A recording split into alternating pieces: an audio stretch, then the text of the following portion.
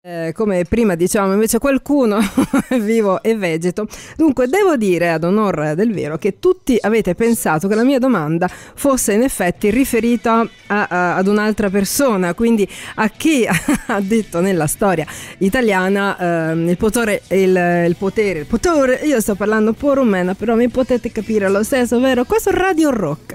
Buongiorno, buon sabato di Radio Rock. Dicevo il potere logora chi non ce l'ha, chi l'ha detto voi avete... No, allora, scusate, io mi, mi scuso, non è colpa mia.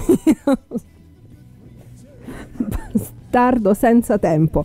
Lui e lei, bastardi senza tempo, il rock senza tempo è un conto.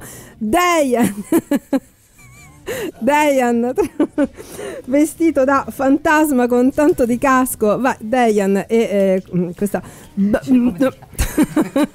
questa bastarda dentro di Daniela. Prendete pure i microfoni, bastardissimi, senza tempo voi. Io, io che paura. per i corridoi della radio, detto, sì. un fantasmino. Un fantasmino, Daniela, un questa fantasmino. me la paghi. Questa me la paghi. Dai, come ti è venuto in mente di entrare in radio con tanto di casco? Facciamo uno scherzo a betta. Bastardo. Mi sono vestito da fantasma scooterista,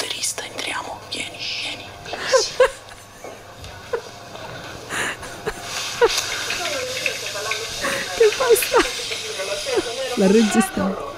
Buongiorno, buon sabato di Radio Rock. Dicevo il potere logora chi non ce l'ha. Chi l'ha detto a voi? Vabbè.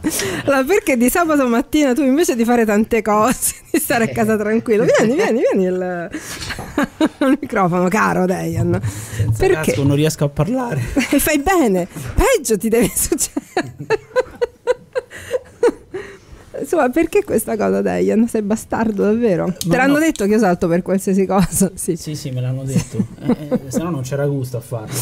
Va bene, va bene. Dunque, allora, Dejan che conoscete ovviamente perché la mattina si prodiga appunto a cazzeggiare in giro per, per la città di Roma e non solo.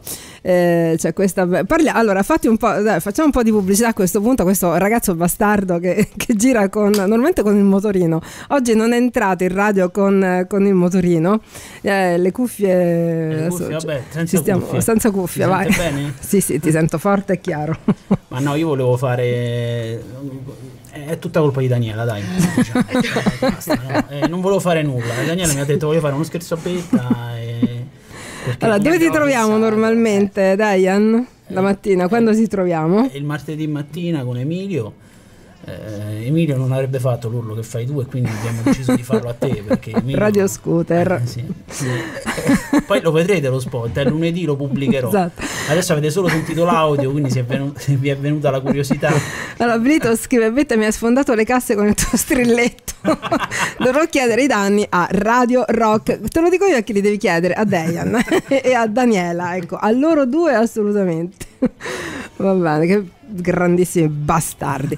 Va bene, io vi ringrazio per, per questo, mi avete fatto prendere un infantioli. Eh? E tu eh, come mai Daniela non sei andata a mangiare il tuo no, formaggetto che normalmente oggi, ti mangi? Oggi no, oggi no, no oggi è posticipato. Ah, ecco. Eh no, ma ti ho detto, ho visto questo fantasmino, mi sono pure preoccupata. Insomma, eh, non pensavo, mm. no, no, io sono...